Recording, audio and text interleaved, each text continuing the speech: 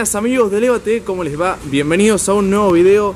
Vamos a tener la posibilidad de conectarle la selectora rápida al Fiat Uno, selectora que está hecha para la caja Lancia, que es una reforma en la cual vamos a dejar de tener una sola varilla, vamos a pasar a tener dos varillas eh, que manejen la palanca y vamos a descartar una de las tres varillas que están del lado de la caja.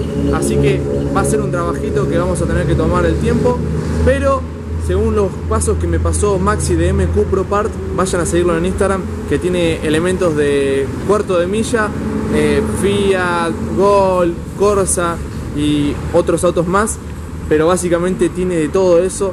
Eh, vamos a instalar esa selectora rápida y bueno, vamos a arrancar con algo que hice allá en Tres Arroyos, como yo le había dicho, ahora estamos en Buenos Aires, pero arrancamos a desarmar lo que es algunas cosas y les voy a mostrar parte por parte de lo que trae esta selectora rápida. Acá están todos los elementos que lleva esta selectora rápida de doble varilla.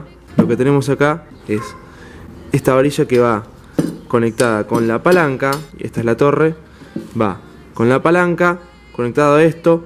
Esta va a ser la varilla que vaya para abajo, como la que tenemos ahora en la única, esa va a ser la que, la que maneje eso. Y después tenemos dos varillas rotuladas que van a ir conectadas al varillaje que mueve directamente los cambios.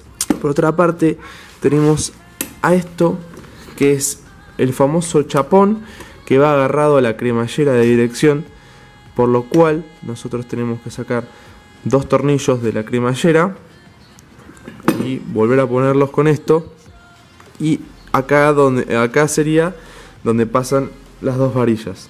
Ahí tenemos el primero y de la otra punta, allá, acá es el segundo.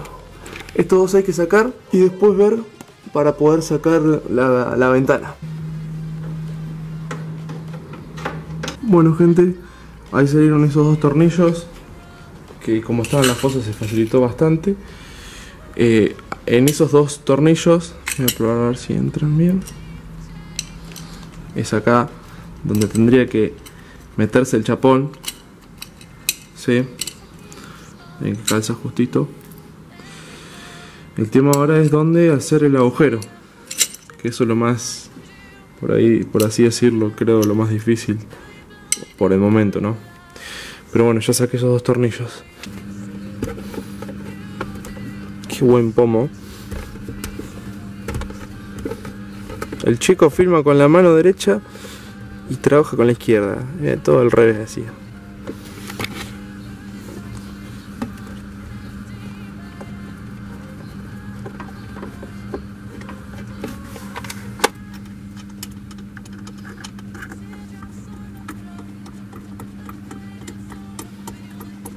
Acabo de sacar las varillas. Recuerden que para sacarlas van a tener una tuerca 13 pero acá van a tener que agarrar en la parte para que vean desde este lado van a tener que poner una llave 10 porque si no se les va a girar la tuerca y van a estar haciendo fuerza al cohete. Tomen la palabra de uno que lo dice desde su propia experiencia. Ahí en el fondo ven ese segurito lo voy a sacar con el destornillador Mamá, eh, no se ve nada. Lo saco con el destornillador y según me comentan cuando saque esto, ya después sería sacar para arriba y que se salga y después podemos sacarlo bien porque quedó este que genera el movimiento de las varillas también este es otro de los que genera el movimiento y de ahí vamos a poder usar el otro chapón que bueno ahí se va a llegar el momento de eh, cortar. Así que pasos ya hechos tenemos. Se sacó toda la base de adentro. Como ven, bueno, vamos a tener que ver cómo ponemos la torreta. Que la torreta se encuentra en este momento. No la encuentro. Está por el todo el quilombo de acá. Lo último que van a tener que sacar es este pivotito que lo que hace, bueno, si, no lo, si lo tenés puesto no te va a dejar colocar el nuevo chapón porque te va a hacer tope y te va a sacar mucho, pero mucho más para afuera. Así que la idea de ahora sería ponerle este chapón y después ver cómo colocar todo. Hay que sacar este tetoncito. Cuando lo sacamos, vamos a tener espacio para sacar el tapizado y ahí poder ver cómo sería el tema del agujero. Sacamos el pedazo de alfombra y acá se puede ver el agujero donde pasan las varillas, ¿sí? Donde pasan las varillas y hay que agujerear un poquito más para agrandarlo. Ahí se está presentando un poco. Se hizo un agujero bastante pronunciado acá. Y bueno, con una agujereadora. El tema es ahora hacer enganchar eh, donde va el chapón el resto de las dos varillas rotuladas. Pero bueno, ya va tomando bastante color. Bueno, después de que pasen lo que es la varilla que va arriba del todo, conectado acá, lo único que hacen es ajustar, ¿sí? Ajustar y después también van a tener que pasar la de abajo, pero la más difícil para pasar es la de arriba, ya que esa es donde está haciendo el famoso tope, que si no haces la ventana no lo vas a poder pasar. Así que después de ajustar esto, como ven, un espacio bastante reducido en este momento, vamos a seguir después con la parte de la conexión de la varilla de abajo y después ya las otras varillas rotuladas que van conectadas acá. La segunda varilla va conectada en este pivoteo.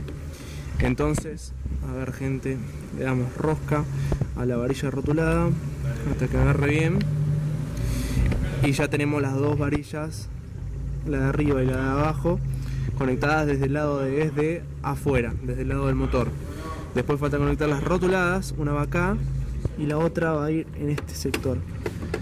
Así que falta eso. Hubo que sacar la consola de abajo porque ya quedaba fea y además no estaba permitiendo laburar bien. Así que bueno, solamente falta amurarla. Esto va enganchado con un tornillo, como ven está puesto acá. Después pasa otro tornillo por acá y acá, está la palanca. Falta el pomo y amurarlo acá. Acá hay que hacer unos agujeros y pasarle unos tornillos. Pero bueno, de a poco va quedando. Como pueden ver, hay que solamente acomodar el despelote. Le saqué el estéreo para tener más espacio y para poder trabajar. Y también para que puedan observar cómo es el recorrido. Con el cual quedaron estas dos varillas. Ahí ven es donde está el agujero por donde pasa que se agrandó. Ya quedó toda puesta. O sea ya le había mostrado cómo eran las partes. La terminé poniendo obviamente este pomo que ya lo teníamos en la palanca anterior. Y por supuesto va enganchado con la primera con la varilla de arriba con este tornillo y después tenemos lo que es la palanca que va agarrado en el medio de acá y después tenés estos tres agujeros si van a van a tomarse un tiempo ustedes si quieren comprar esta selectora que está bastante copada eh, para regularla ¿sí? en estos tres puntos no solamente se regula desde acá sino que también tenemos para regularlas a las varillas desde este sector desde acá mismo donde ven las varillas rotuladas, por algo son rotuladas, y acá un claro ejemplo es que le pueden ir estirando la rosca a medida de que quieran cómo entran los cambios, ¿sí? Además de que cómo quieran que entren los cambios, sino que entren bien los cambios. Me quedó a mí muy cortita, así que me va a costar un poquito adaptarme. Ahora vamos a salir a dar una vueltita a ver cómo quedó para, para andar despacio. Y obviamente sería la primera vuelta en el 1 después de tanto tiempo, porque ya está todo en marcha. Ven, primera, segunda, tercera, cuarta, quinta. Marcha atrás. Así que ven. Vamos de vuelta. Primera, segunda, tercera, cuarta, quinta. A ver, la primera bien, la segunda joya. La cuarta, cuarta bastante cortita. Así que vamos a ver qué pasa. va a ser cuestión de adaptarse porque realmente no, no tuve la, la posibilidad de probarlo como corresponde al auto. Así que cuando exista la oportunidad se saldrá a probar bien.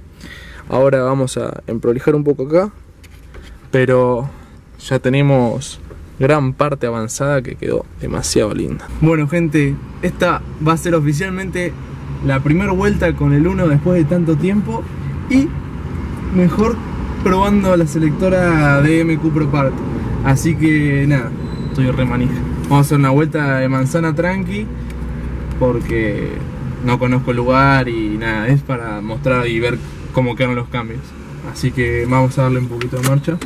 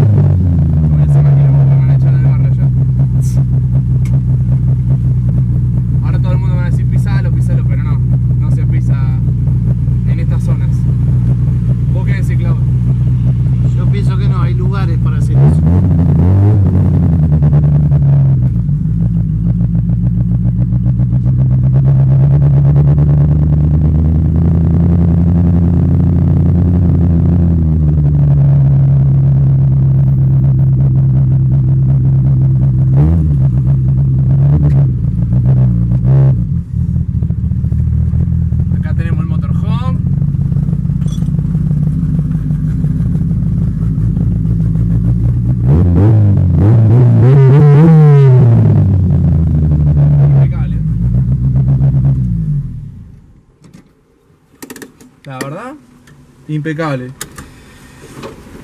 Estaba un poco nervioso porque era la primera vez manejando acá en Buenos Aires y la verdad quedó, quedó joya. Hay que ver cómo, cómo se comporta y cómo lo, lo agarro yo después la mano cuando empiece a tirar los palancazos de verdad.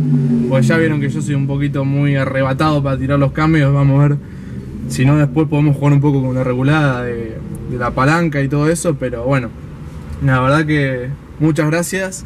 Eh, a todos, obviamente, siempre al IFAN y a MQ ProPart, que la verdad, papá, impecable. Eh, hay que agarrarle la mano pero tenemos ya la selectora rápida. Es una reforma que está muy copada para hacerla para la caja Lancia. Si tenés un 147 que le pusiste caja Lancia también, 128. eh, además me estuve guiando con unas fotos de un 128 si no me equivoco y de un FIO 1. La verdad que Maxi un grosso siempre atendiendo las dudas por, por WhatsApp porque la verdad sos un, sos un capo. Y nada, eh, muchísimas gracias gente por haber visto el video. Si te gustó, si es así, suscríbete y dale like para que Lea TV siga en marcha. Y de- debajo de la descripción te dejo todos los datos para que te pongas en contacto y si te gusta, le puedas meter. Así que nada, nos vemos en la próxima y ojalá sea en un autódromo. Hasta luego.